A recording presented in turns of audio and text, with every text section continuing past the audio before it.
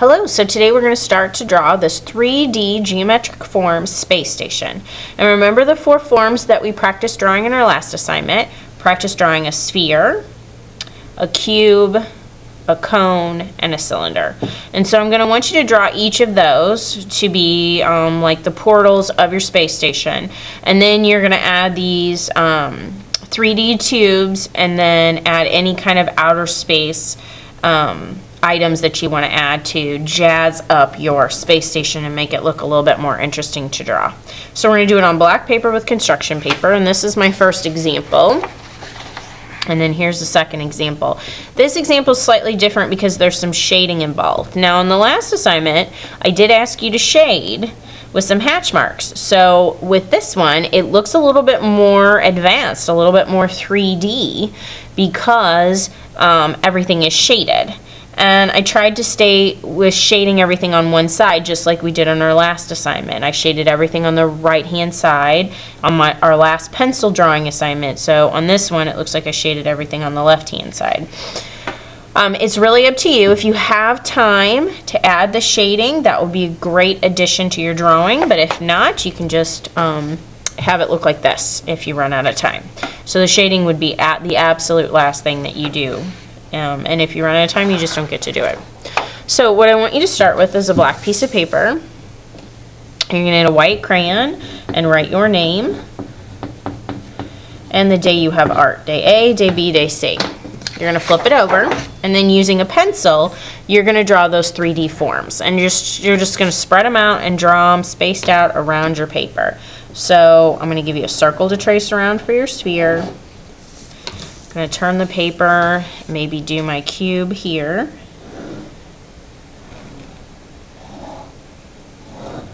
Now remember when you draw a cube, start with a square and then you draw three diagonal lines all going the same direction and you want them to be about the same length.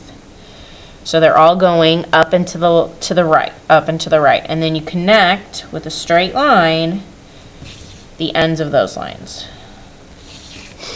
just like that. All right, and now I need a cone, so I'm going to use a ruler. Turn my paper. It's a space station, so there is no gravity, so I'm just going to draw my 3D forms just from random spaces. So there's my cone. And now I need a cylinder. So start with two long sides, and then you curve the bottom, and then the top is an ellipse. All right, so there's my three 3D forms, my sphere, cylinder, cone, and cube. Now I want you to connect them with tubes. So this can get a little tricky if you don't take your time. I want the tubes to be the same thickness. So I don't want them to get skinny and fat, skinny and fat. So you're going to start with one line to connect them. So I'm going to connect this cube to the cone. And I'm going to start with just a simple curved line. The line is going to start inside the shape and end inside another shape. Now my next line, I want to be parallel, so I want it to be the same space. I don't want this tube to get skinny and then fat and then skinny and then fat. So I'm going to start, I like to draw my tubes kind of almost at least a finger's width. And then I'm going to try to make sure I keep at least a finger's width as I sketch out, because you can see I sketch, I don't draw it again because it's hard to keep it the same width. So I kind of have to sketch it out. And it should be the same thickness here, here, here.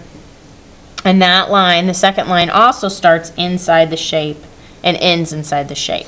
Then to close off the tube, you draw a curved line, a short little curved line, and then you erase the part of the form that is inside the tube. So I erase the side of the cone that's inside the tube. Now I have to erase the side of the cube that's inside the tube here.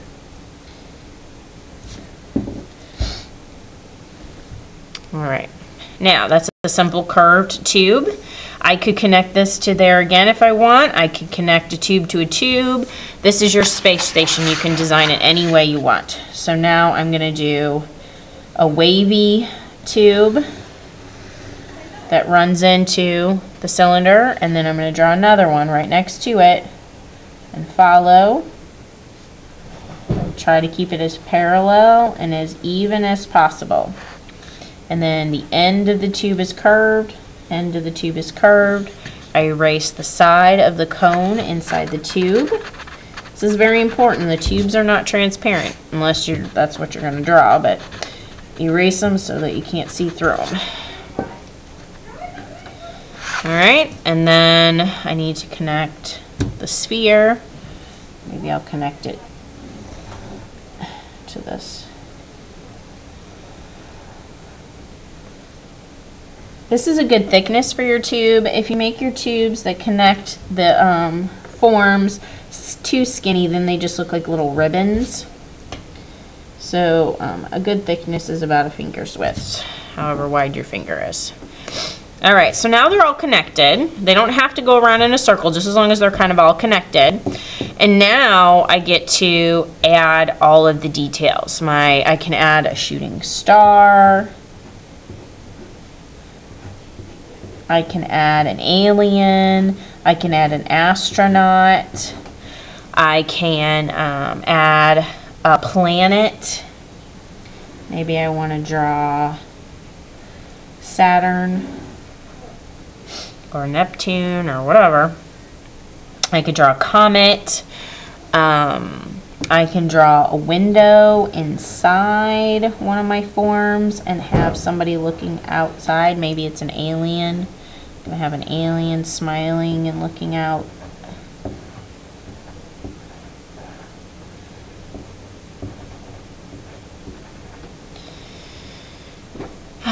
Um, maybe I want to do an astronaut who's walking on a cube. Or maybe I have an astronaut that's popping out of the cube. Maybe there's a window or a door on this side. I'm going to have an astronaut popping outside looking.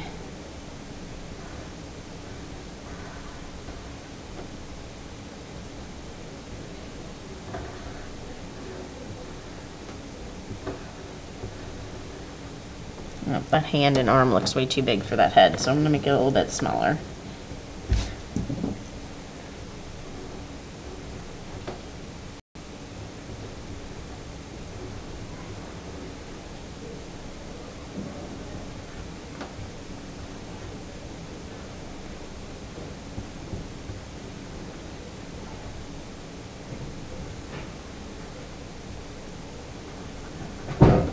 Okay. All right. So whatever you want to add, I don't want to make you watch me draw all the little details. You get to make make it what you want it to look like. But once you have everything drawn but the stars, you're going to save the stars to the very, very last, the little dots. I want little dots for stars. I don't want just um, big, huge, five-pointed stars. Then you're going to use construction paper crayon to color in. And I want you to work with two kinds of pressure when you're coloring. I want you to push hard on the outline or on the pencil line, and then I want you to use a lighter pressure on the inside. So I'm going to push hard on the pencil line.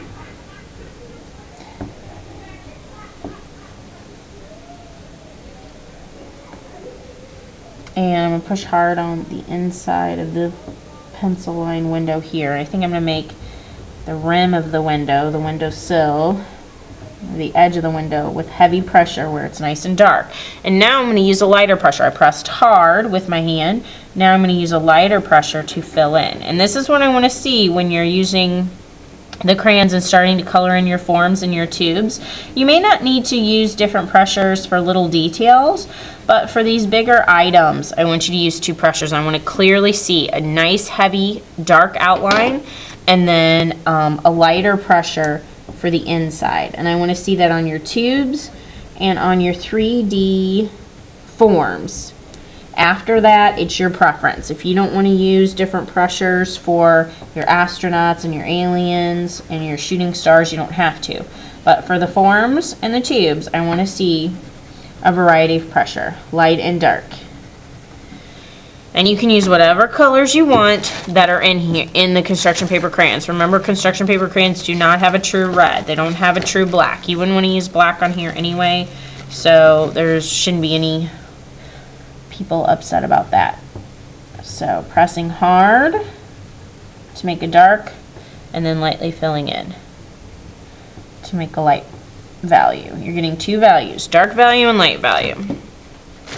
So this is what it would look like when you're finished, where you have the dark outline and the lighter outline.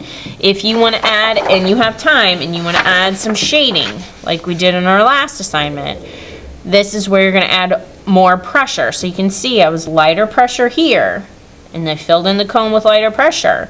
But then I went back and I added a shadow with darker pressure. So here, I would add a shadow, short strokes, hatch marks on one side. Dark value, and that's how you get the shading. But if you're gonna shade, I want you to shade most of your, I want you to shade all of your your 3D forms and your tubes. If you're not gonna shade, just make sure you color in. And when you do your dots, your stars, I want little dots. So I want you to take your time and fill in. This is the very last step. Fill in with little dots. I don't want you to go and just kind of scribble. I don't want you to do big five-pointed stars. I want you to take your time and make nice, neat little dots like you see in here. And it looks like I used white and yellow for my stars. You can use whatever. I even included a moon, included Saturn, I included a rocket ship. I've got a spaceman, um, an astronaut here, and some aliens there. It's really up to you. However you want to add your details, but neatly colored in, showing two values, light and dark, through pressure.